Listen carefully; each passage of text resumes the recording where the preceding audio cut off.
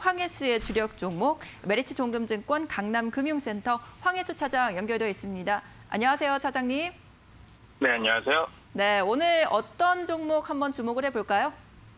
어, 오늘은 그 덕산 네오룩스, 유니드, GST와 아이센스를 말씀드리겠습니다. 네, 이 네 가지 가운데 현재 더 주목하고 계시는 종목들이 있으십니까? 어, 네, 우선적으로 덕산 네오룩스를 말씀드리겠는데요. 어, 덕산 네오룩스 같은 경우는 대표적인 투자 포인트가 어, 최근에 OLED 디스플레이의 그 어플리케이션이 굉장히 크게 확장이 되면서 이에 따른 소재 업체인 덕산 네오룩스가 가장 큰 실질적인 수혜를 볼 수 있다는 점을 투자 포인트로 말씀을 드리겠습니다. 어, 예상되는 2분기 실적 역시 시장의 컨센서스를 상회하는 실적이 발표될 것으로 전망이 되고 있는 상황인데요. 하반기로 갈수록 이런 OLED 산업 확장에 따른 그 이익 그 이익 상승 효과가 굉장히 크게 나타나는 업체다라는 점을 말씀을 드리겠습니다.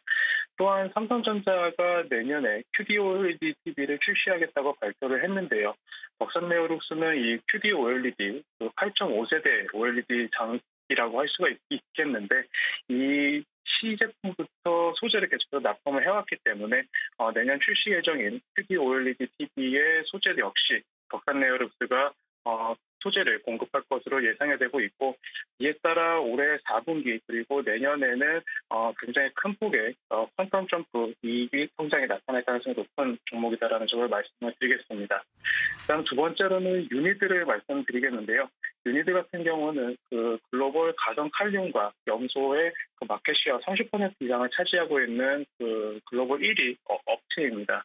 어, 올해 같은 경우 어떤 가상 칼륨과 염소의 수요가 급증함에 따라서 올해 사상 최대 실적이 전망되고 있다는 점이 매력적이다라고 말씀드릴 수가 있겠는데요.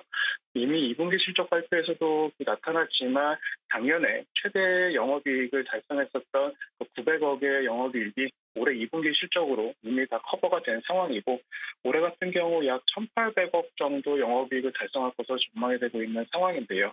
어, 이는 현재 시가총액이 1조 가량을 감안했을 때 어느 정도 그 실적이 주가에 반영됐다고 볼 수가 있겠지만 어, 가장 큰 투자 포인트로는 이제 탄소 중립과 탄소 저감 장치가 가성 칼륨과 염소가 사용이 되기 시작을 하면서 이런 유니드의 그 rerating이 나타날 수 있다라는 점을 말씀을 드리겠고 현재 주가에서는 이런 그 탄소 관련된 valuation이 아직 적용이 되지 않았기 때문에 아직까지 상승할 수 있는 여력이 큰 종목이다라는 점을 말씀을 드리겠습니다.